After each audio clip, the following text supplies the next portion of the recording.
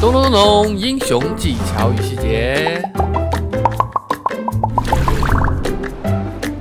Hello，大家好啊！欢迎小伙伴们收看新一期的技巧细节。你们帅气迷人的小鱼哥哥，我又回来啦！本期为大家带来的是当前版本辅助位置上 T 一级别的坦克爸爸——深海泰坦诺提勒斯。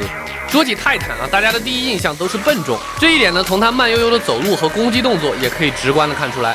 但是本节的内容呢，会刷新你对泰坦这个英雄的认知。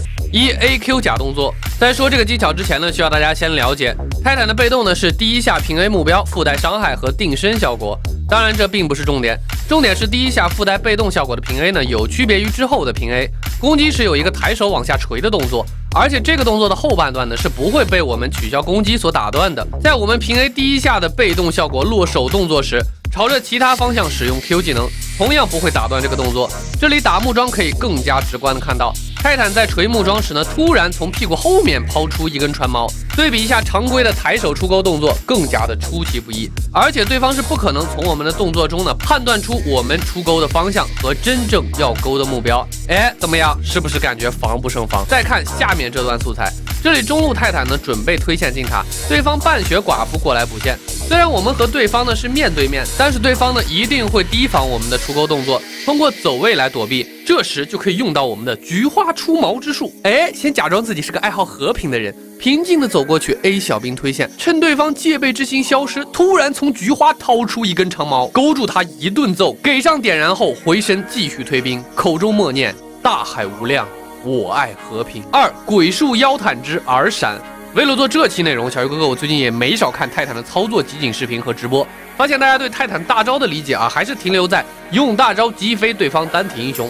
再或者比较会玩的玩家呢，也只是使用大招选择较远目标，尽可能在大招咚咚咚的路径上击飞更多敌人。但其实泰坦的大招呢，隐藏了很多鲜为人知的操作技巧，那就是耳闪。泰坦在使用大招时呢，同样跟被动平 A 一样，拥有一个抬手的施法动作。而第一波的击飞效果呢，是在落手动作时才出现的。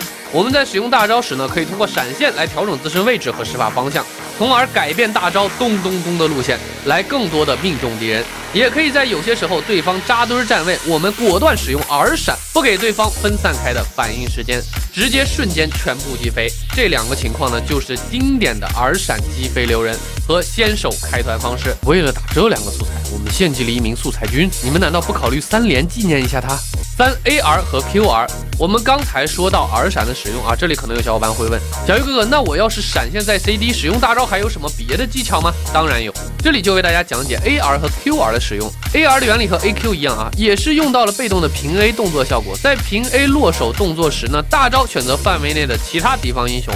虽然我们从画面上看到啊，泰坦是在平 A 攻击，但是人物模型突然转身朝身后给出大招，而且系统默认判定 R 的起点呢，依旧是攻击时的方向。这样在实战中呢，不仅可以用平 A 的假动作迷惑对方，还可以将大招呢命中前面的英雄，做到最大化的利用。而下面的 QR 相对来说呢，就更加的花里胡哨。泰坦使用 Q 技能出钩后呢，在还没有勾中目标时，是可以使用大招的。